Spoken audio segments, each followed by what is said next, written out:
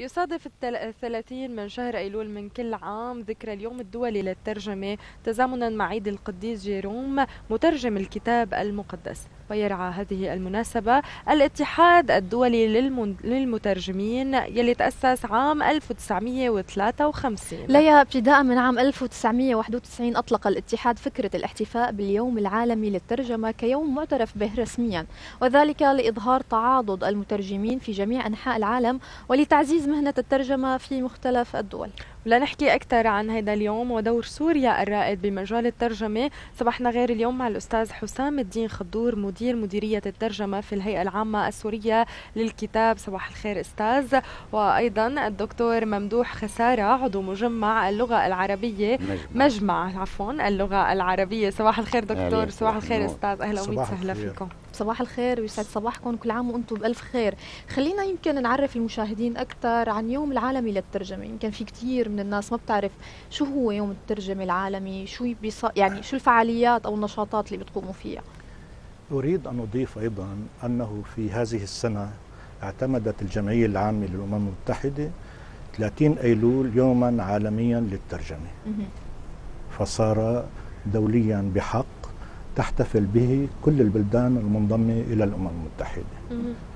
هذا من ناحية. من ناحية أخرى في هذا اليوم يتداعى المترجمون في كل أنحاء العالم إلى الاحتفال في هذا اليوم. آه، تبادل الخبرات والآراء والتجارب في هذا الميدان ويطالب يسترجعون تاريخ هذه المهنة المغرقة في القدم حيث لا يوجد تاريخ لبدء هذه المهنة. هذه المهنة بدأت مع الإنسان ويمكن أن نقول حتى اللغة هي شكل من أشكال الترجمة. حتى اللغة الأم هي شكل من أشكال الترجمة. نعم. لكن حيثما هناك قومان هناك جماعتان تتكلمان لغتين مختلفتين هناك ترجمة, ترجمة. بينهما. والترجمة هي الوسيلة للتفاهم بين الجماعات. هي الجسر الذي يصل بين الشعوب وهي الجسر الذي يصل بين الشعوب ومن خلاله تنتقل الثقافات من شعب إلى آخر. فالترجمة مسألة إنسانية. لا يمكن لا يمكن أن نتخيل أن هناك مجتمعا لا توجد فيه ترجمة وفي عصرنا الراهن هي شرط من شروط التقدم والتطور والحياة حتى حيث أنها تتخلل آه، جميع مفاصل الحياة الاجتماعية. لنتخيل الآن في عصرنا الراهن أنه لا توجد ترجمة لا نستطيع أن أن نستخدم هذه الآلات لا نستخدم أن لا يمكننا أن نستخدم آه، أدوات حياتنا اليومية. تتعطل عجلة العمل نوعا ما حقيقة حقيقة حقيقة. الترجمة آه، تتخلل حياتنا اليومية في كل مفاصلها آه، وبالتالي وبالتالي هي ضرورة حياتية كما هي ضرورة لنقل الثقافات نعم. ونقل الأفكار وتبادل الخبرات بين الأمم والشعوب. نعم، خلينا ننتقل للدكتور ممدوح أهلا وسهلا فيك معنا اليوم. خلينا نحكي دكتور ونعرف المشاهدين على أثر الأدب المترجم على اللغة العربية وأثر اللغة العربية على الأدب المترجم. اولا اللغة العربية مدينة للمترجمين في تطورها وتقدمها إنما هي مدينة للترجمة وللمترجمين. نعم. فلولا المترجمون الذين تصدوا لنقل المفردات والكلمات والنصوص من الأجنبية العربية لما كان لنا اليوم لغة معاصرة. نحن نتكلم اليوم لغة معاصرة حديثة. من الذي صنع هذه اللغة؟ ومن الذي أوجد هذه اللغة؟ إنما هم المترجمون. لولا المترجمون ما كنا نستطيع أن نقول قناة ولا نستطيع نقول فضائية. وما كان عندنا شيء مقابل لسيارة آه، أو غواصة أو, أو حاسوب أو شابكة. فالترجمة هي التي طورت لغتنا. نحن مدينون للتراجمة ولا سيما الإكفياء منهم لأنهم هم الذين زودوا لغتنا. بالمفردات المعاصرة الضرورية لتطور حياتنا وتقدمها. ويساعد المترجمين أيضا الإعلاميون الذين يقومون بالنشر وترويج هذه المصطلحات والكلمات والأساليب التي يتوصل إليها المترجمون. فعندما نقول ما أثر الترجمة نقول الترجمة هي التي حدثت لغتنا هي التي طورت لغتنا هي التي جعلت لغتنا لغة معاصرة نستطيع أن نتفاهم فيها حول قضايا العصر كما هي لغة تراثية ونستطيع أن نتحاور ونتفاهم فيها في ما مضى من تاريخ أمتنا وتراث أمتنا. فالترجمة بالنسبة للأمة العربية هي ضرورة حياتية. إذا كانت بالقياس إلى غيرها من الأمم حاجة من حاجاتها قد تكون كمالية ولا سيما عندما تكون الأمة متمتعة بدرجة عالية من التقدم العلمي والتقني أما بالنسبة لنا نحن العرب فهي حاجة ضرورية وحياتية كما تفضل الزمين وقال. ولا نستطيع أن نتصور لغة عربية معاصرة حديثة دون أن نستفيد من جهود المترجمين وجهود صحيح. الكتب المترجمة. أستاذ حسام حكيت نقطة كثير مهمة. لا يمكن أن يقوم مجتمع دون ترجمة. خلينا نحكي أثر الترجمة على المجتمعات مثل ما قال الدكتور ممدوح على المجتمعات العربية خصوصا يمكن من مئات السنين معروفة الترجمة. يعني الكثير من العلماء مثل ابن سينا ومثل ابن رشد كتب ترجمت للغات أخرى لا يمكن انتشار الفكر والثقافة العربية. نحن أصحاب حضارة عمرها آلاف السنين. هذا صحيح. لكن أولا أريد أن أشكر الدكتور ممدوح على شهادته بأهمية الترجمة وأثرها في اللغة العربية. أه، حقيقة أه، اللغة التي لا تترجم تكتب على نفسها أه، الموت. حكم الموت حقيقة. وبالتالي بالتالي الترجمة إلى اللغة هو الذي يمنحها نصغ الحياة. ونحن كعرب ترجمنا وترجم لنا عبر التاريخ. فنهضتنا نهضتنا الأولى بدأت بترجمة علوم الشعوب التي سبقتنا في مضمار الحضارة كاليونانيين والرومان والهند وفارس وغيرها. لكن يمكن الحضارة الغربية قائمة على حضارتنا يعني لكن لكن من ثم من ثم بعد ذلك هضمنا علوم تلك الحضارات وأضفنا إليها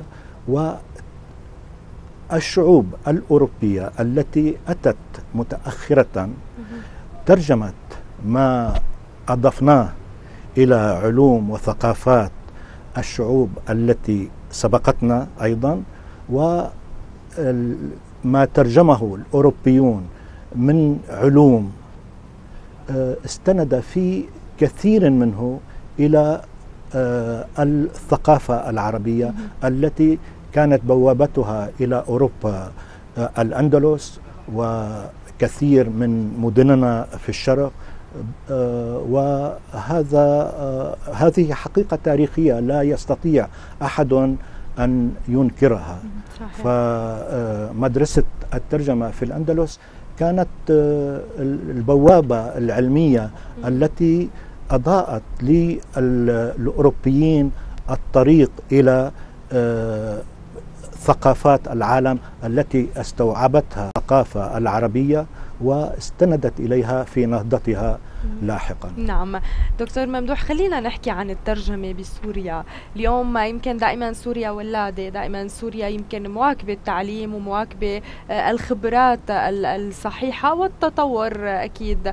خلينا نحكي اليوم الترجمة بسوريا آه، قديش هي يمكن موجودة بين الناس قديش هي عم تدرس بالشكل الصحيح قديش هي عم تمارس بالشكل الصحيح. إذا كان للترجمة وجوه وأنواع فثمة نوعان رئيسيان للترجمة. هي الترجمات الأدبية الكتب الأدبية والترجمات العلمية الكتب العلمية. العلمية وفي هذا الميدان فإنني أرى بأن سوريا هي البلد الأكثر تقدما في ميدان الترجمة العلمية إلى اللغة العربية. وهذا ما يهمنا الآن. الترجمات التاريخية والأدبية والفنية لا أنكر أهميتها ولكن ما نريده نحن نعم. في صنع مجتمع علمي متقدم إنما يكون عن طريق ترجمة العلوم وكتب العلوم العربية. في هذا الميدان تقف سوريا في الطليعة. لماذا؟ لأن سوريا عربت التعليم في بلدها وهي تقريبا الدولة الوحيدة التي عربت جميع مراحل التعليم. في حين أن هناك دول عربية الأخرى ما زالت يعني تعرب مادة وتترك مادة تعرب كلية وتهمل كلية. أما سوريا فبحمد الله التعليم فيها معرب. وعندما نقول التعليم معرب يعني تعليم الطب والهندسة والرياضيات والفيزياء والنوويات وكل العلوم هذا يحتاج إلى كتب مترجمة. ترجمة. ولذلك قامت سوريا بدورها الكبير في ترجمة أمهات هذه الكتب. أول الكتب التي ترجمت إلى العربية في علم الطب إنما ترجمتها سوريا. آه الطب الداخلي لأديسون وال معجم المصطلحات الطبية كثير اللغات وكثير معظم كتب الطب ترجمت العربية. نأتي إلى الرياضيات. أول موسوعة ترجمت من مصطلحات الرياضيات ومن كتب الرياضيات كانت إلى اللغة, اللغة العربية. العربية. في الفيزياء أيضا. فسوريا أنا أرى بأنها تحتل المقام الأول. في الترجمة العلمية. نوع آه، يمكن الحفاظ على الهوية العربية واللغة العربية. حكيت نقطة كثير مهمة. طبعا. بعض البلاد العربية لم تترجم يعني بعض البلاد العربية ما زالت تتعلم باللغة الأجنبية أو الفرنسية باستثناء العربية ومو كلها إذا كانت فهذا نوع من الحفاظ على الهوية العربية. إذا كانت جامعة لا تدرس بلغة بلدها فماذا ماذا نتصور في هذه الجامعة؟ سوريا عندما أخذت منهج التعريب وسياسة التعريب وتبنتها منذ 1919 إنما كان الهدف منها الحفاظ على الهوية الهوية العربية الأصيلة لهذا البلد. ومحافظتنا على هذه الهوية الأصيلة لهذا البلد تقتضي منا واقتضت منا أن يكون تعليمنا باللغة العربية. وكما تعرفون التعليم باللغة العربية يحتاج إلى كتب منهجية ومرجعية صحيح. هذه الكتب كثير منها بحكم الواقع الآن هو مؤلف باللغات الأجنبية فقام آباؤنا وإخواننا بترجمة تلك الكتب العلمية إلى اللغة العربية ونحن نفخر مثلا بأنه عندما آه، أقيم مركز للتعريب والترجمة والنشر اختيرت له دمشق ليكون لتكون نعم. مقرا لهذا المركز لماذا؟ لأنهم يعرفون بأن دمشق هي حاملة لواء التعريب وبالتالي هي حاملة لواء الترجمة العلمية إلى اللغة العربية. قد يكون سبقنا غيرنا في ترجمة روايات أو شعر أو كذا ولكن المعول عليه هو الترجمة العلمية لأننا نريد أن نخرج أبناءنا متعلمين بمختلف ميادين العلم وهذا لا يتأتى لنا إلا عن طريق الترجمة العلمية. صحيح. أستاذ حسام بنهاية لقائنا خلينا نحكي اليوم عن الفعاليات يلي قمتوا فيها باليوم العالمي للترجمة. الفعالية الأساسية صحيح. التي نعد لها وستقوم غدا هي الندوة الوطنية للترجمة بعنوان الترجمة في سوريا مشكلات وحلول وسيشارك بها آه، بالإضافة إلى مديرية الترجمة في الهيئة العامة السورية للكتاب آه، اتحاد الكتاب العرب مع اللغة العربية آه، اتحاد الناشرين جامعة دمشق ممثلة بالمعهد العالي للترجمة وهي ستقوم على يومين عملها ستدوم يومين في مكتبة الأسد الوطنية. وأنتم مدعوون لحضور فعاليات هذه الندوة حيث ستقدم فيها الكثير من الأبحاث آه، في شتى الميادين التي آه، تواجه المشكلة الترجمة من مشكلات نظرية وعملية. وفي تقديري آه، هذه الفعالية من أهم الفعاليات وأصبحت في بلدنا بشكل أو بآخر تقليدا ثقافيا سنويا حيث أن هذه الندوة هي الندوة الثالثة التي تقام على التوالي. على التوالي في بلدنا. فقط في دمشق ولا في في المحافظات؟ آه الندوة الوطنية في دمشق هي الندوة المركزية. الأساسية. طبيعي طبيعي. هناك باقي النشاطات. هناك نشاطات فرعية في شتى المحافظات لكن الندوة الوطنية هي في دمشق.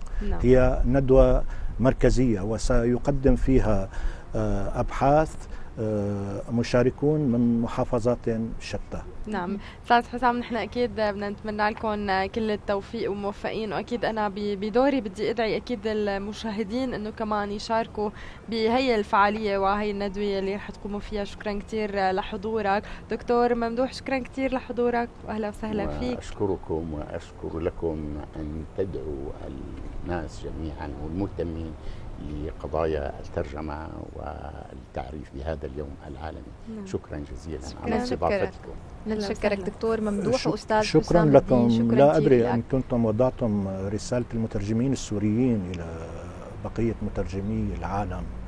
نحن أصدرنا. رسالة باسم المترجمين السوريين إلى المترجمين العرب وبقية المترجمين في العالم لا أدري أن وصلتكم هذه الرسالة نعم كان- هلأ بنشوف أكيد إذا واصلتنا أكيد رح يتم عرضها نحن كثير بدنا آه، نتشكركم شكرا أتمنى أن لكم. تعرضوها شاء الله. سعيدين شكراً بوجودكم لكم. شكرا كثير لكم